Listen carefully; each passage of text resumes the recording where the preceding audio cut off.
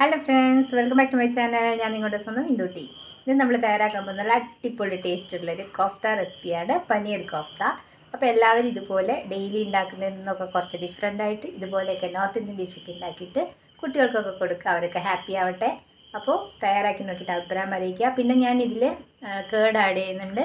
Tomato puree add ചെയ്യുന്നുണ്ട്. അപ്പോൾ രണ്ടും കൂടെ ഒരു ബാലൻസ് ഇപ്പോൾ പുളിയില്ലാത്ത തൈര് ചേർത്താലാണ് അതൊന്നുകൂടെ ബാലൻസ് ആവുക. അല്ലെങ്കിൽ പുളി കൂടിപ്പോവും അപ്പോൾ അത് നോക്കിയിട്ട് യൂസ് ചെയ്യുക.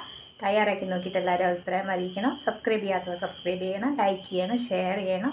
വീട്ടിലേക്ക് പോവാം. കമോൺ ഹലോ നമ്മൾ തയ്യാറാക്കാൻ പോകുന്നത് പനീർ കോഫ്തയാണ്.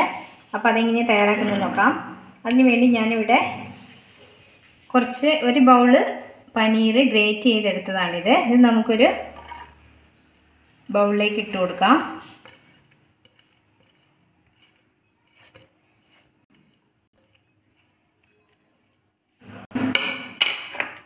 സെയിം ഒരു ബൗൾ പൊട്ടറ്റോ സ്മാഷ് ചെയ്തെടുത്താണിത്. ബോയിൽ ചെയ്തിട്ട് സ്മാഷ് ചെയ്തെടുത്തത് ഇട്ട് കൊടുക്കാം. ഇതിലേക്ക് ചെറുതായി അരിഞ്ഞെടുത്ത ഒരു പച്ചമുളകാണ് ആഡ് ചെയ്യുന്നത് കുറച്ച് മല്ലിയില. ഇതിലേക്ക് ആവശ്യത്തിന് സോൾട്ട് ഇട്ട് കൊടുക്കാം. കാൽ ടീസ്പൂൺ ചില്ലി പൗഡർ പിഞ്ച് മഞ്ഞൾപ്പൊടി. കാൽ ടീസ്പൂൺ ഗരം മസാല. ഇതെല്ലാം ചേർത്ത് നന്നായിട്ട് കുഴച്ചെടുക്കാം.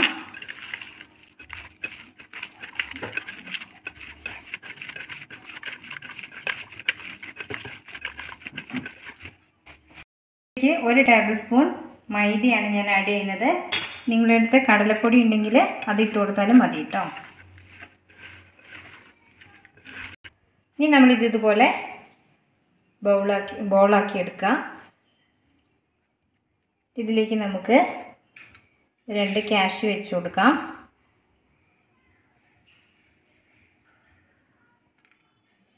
എന്നിട്ട് ഇത് ബോൾ ചെയ്ത് കൊടുക്കാം.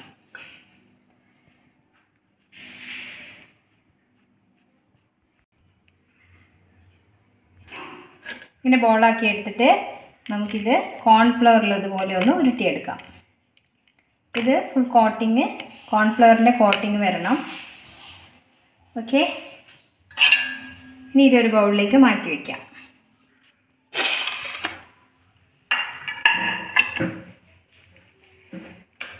അടുത്ത ബോൾ എടുക്കാം.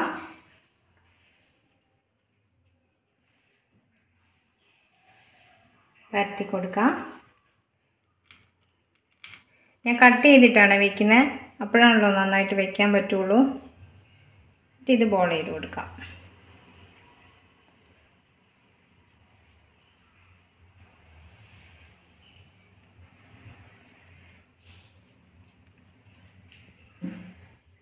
ഇതിലൊന്ന് കോട്ട് ചെയ്തെടുക്കാം.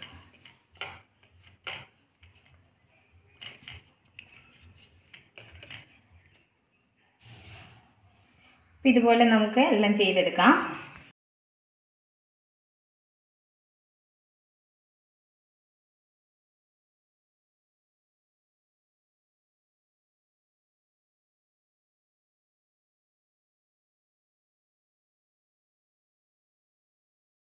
ഇതിൽ ഒരു പാൻ വെച്ചിട്ടുണ്ട്.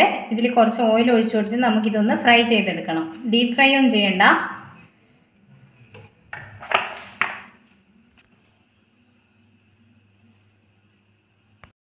ഓയിൽ ചൂടായിട്ടുണ്ട്.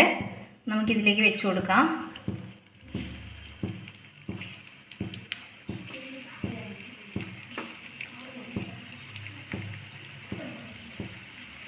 നന്നായിട്ടൊന്ന് ഫ്രൈ ആയി വരണം കേട്ടോ.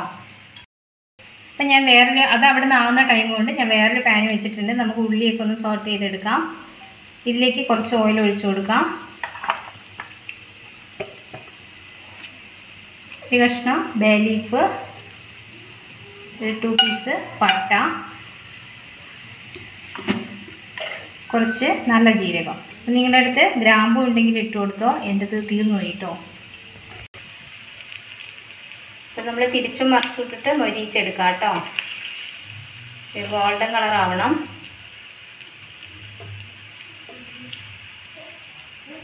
ഫ്ലെയിം കുറച്ച് വെച്ചിട്ടാണ് ഉള്ളത്.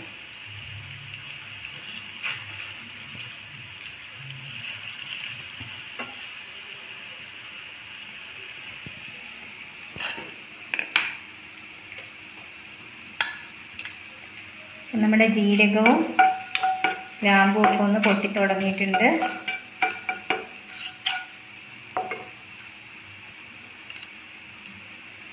ഇതിലേക്ക് നമുക്ക് സവാള ആഡ് ചെയ്ത് കൊടുക്കാം.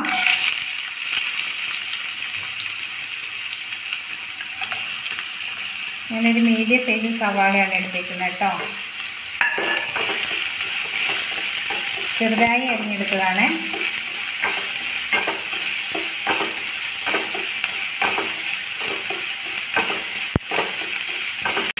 കുറച്ച് സോൾട്ട് ഇട്ട് കൊടുക്കാം. ഇനി ഇതിലേക്ക് ഒരു ടേബിൾ സ്പൂൺ ജിഞ്ചർ ഗാർലിക് പേസ്റ്റാണ് ആഡ് ചെയ്യുന്നത്. പേസ്റ്റ് ആയിട്ടല്ല ഞാനൊന്ന് നന്നായിട്ട് ചതച്ചെടുക്കുകയാണ്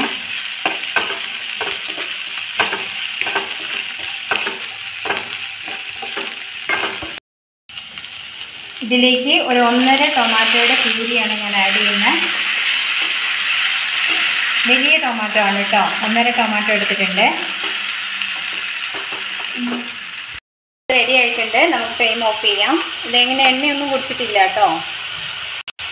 എണ്ണയൊക്കെ അതിൽ തന്നെ ഉണ്ട്. ഫ്ലെയിം ഓഫ് ചെയ്യാം. ഇനി ഇതിലേക്ക് നമുക്ക് മസാലപ്പൊടികൾ ആഡ് ചെയ്യാം.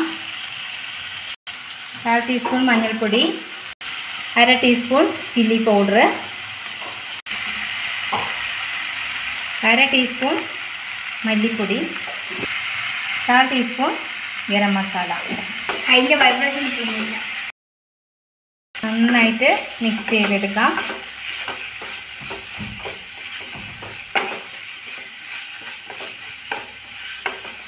പൊടികളൊക്കെ മസാലപ്പൊടികളൊക്കെ മൂത്ത് വന്നിട്ടുണ്ട്. നന്നായിട്ട് എണ്ണ തെളിഞ്ഞു വന്നു. ഇനി ഇതിലേക്ക് നമുക്കൊരു കപ്പ് വെള്ളം ഒഴിച്ചു കൊടുക്കാം. പച്ചവെള്ളം തന്നെയാണ് ആഡ് ചെയ്യുന്നത്.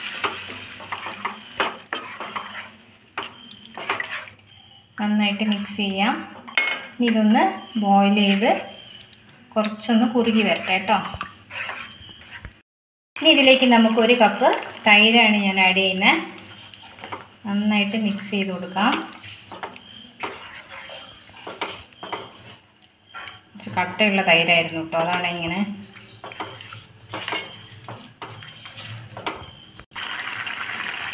ഇനി ഇതിലേക്ക് ഒരു രണ്ട് ടേബിൾ സ്പൂൺ കാഷ്നട്ടിന്റെ പേസ്റ്റാണ് ആഡ് ചെയ്യുന്നത് നന്നായിട്ട് തിളച്ച് വന്നിട്ടുണ്ട്.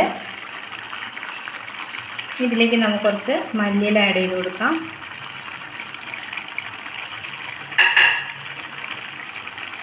നമ്മൾ റെഡിയാക്കി വെച്ചിരിക്കുന്ന ബോൾസ് ഇതിലേക്ക് ഇട്ട് കൊടുക്കാം.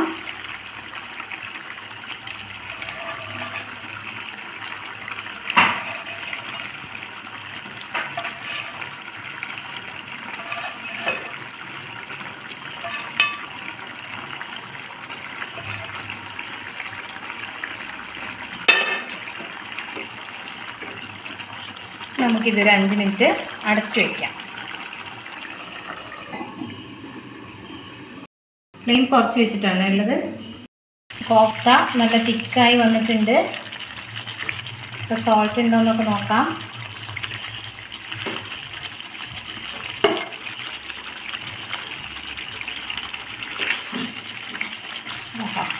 നല്ല ടേസ്റ്റ് ഉണ്ട് കേട്ടോ. നല്ലൊരു നോർത്ത് ഇന്ത്യൻ ഡിഷ് ആ ഒരു ടേസ്റ്റാണുള്ളത് ചപ്പാത്തീന്റെ കൂടി അടിപൊളി ആയിരിക്കും പിന്നെ ഇതിലേക്ക് നമുക്ക് കുറച്ച് ഫെനും പീക്കിന്റെ ലീഫാണ് ഇട്ട് കൊടുക്കുന്നത്.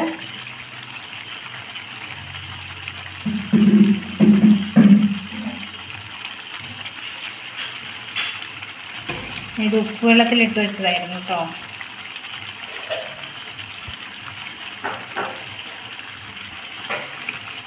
നമുക്ക് ഫ്ലെയിം ഓഫ് ചെയ്യാം.